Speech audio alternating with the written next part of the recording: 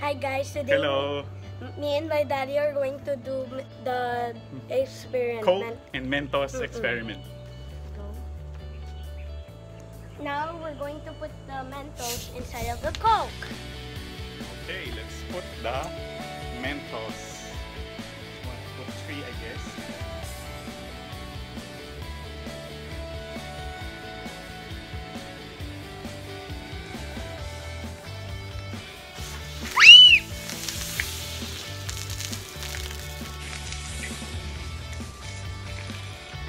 Guys, this is what Riley wanted to do since he's a little kid.